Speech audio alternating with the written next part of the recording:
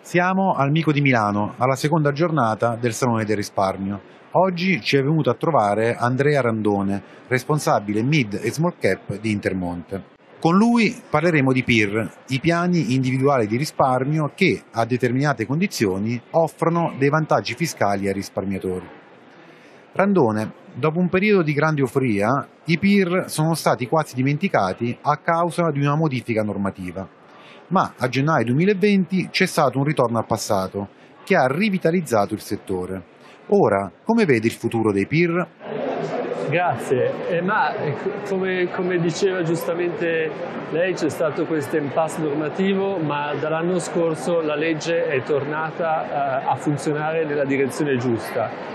Certo non, eh, non, è stato facile nel tempo di Covid far partire dei nuovi clienti e le reti eh, dei, dei, vari, dei, vari, fondi eh, hanno avuto dei rallentamenti. Adesso pensiamo, e lo stiamo vedendo dai dati, eh, che ci possa essere un nuovo slancio, anche con la fase un po' di riapertura. Ma non è soltanto questo, eh, il governo Draghi e il piano di recovery sono delle notizie importanti che la gente sta recependo e allo stesso tempo la borsa ha fatto bene da inizio anno e questo lascia la sensazione che ci si possa, ci si possa guadagnare e che ci siano delle belle opportunità.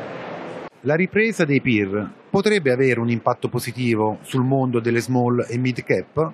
Eh, senz'altro, innanzitutto proprio di oggi il dato che ha fornito suggestioni sull'impatto che i fondi PIR hanno avuto nella raccolta delle IPO di questi ultimi anni, soprattutto di quelle di società piccole che si sono quotate all'AIM un ruolo davvero da protagonisti questo dovrebbe eh, continuare ad aumentare con l'apporto che dovrebbe arrivare anche dai peer alternativi che sapete è un prodotto complementare a quello dei peer e che hanno già raccolto 650 milioni di euro nella prima metà dell'anno. Questi due prodotti si rivolgono quindi a un universo investibile che Banca d'Italia a gennaio ha stimato in 2.200 società quotabili in Italia quindi da un lato abbiamo i risparmi che possono arrivare nei PIR, dall'altro le società quotabili. Credo che la strada davanti sia davvero molto interessante.